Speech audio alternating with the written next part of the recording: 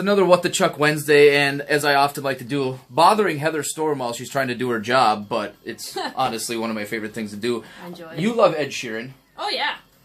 I really enjoy Ed Sheeran, and picture came out, video of him with a tattoo uh, of one of his favorite condiments, you could say. He just loves Heinz ketchup.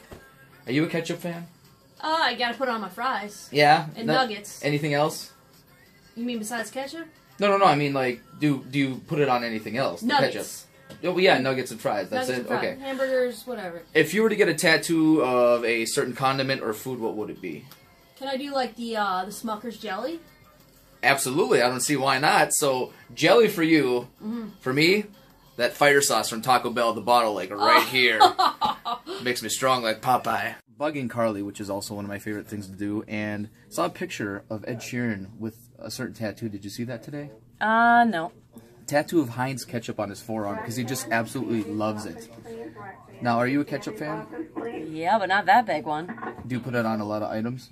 Uh, the standard ones, not like anything weird. If you had to pick a condiment or a certain food to get for a tattoo, what would it be? Hmm. Are pickles a condiment? No, but it's a food. I included food, so you'd get like, Oh. would, it be the spears or the chips, or the whole Well, thing? I'm like, like, considering a pickle. Like, I like to put pickles on like my burgers and okay, so and you're gonna stuff, get the so- pickle chips then. Yeah, pickle chips or like dill pickle relish. Not that sweet relish. Get that relish Oh my here. god, terrible. Fire sauce from Taco Bell, the bottle, like right here. That's what I get. That's what you'd get. Yeah. Is it even spicy?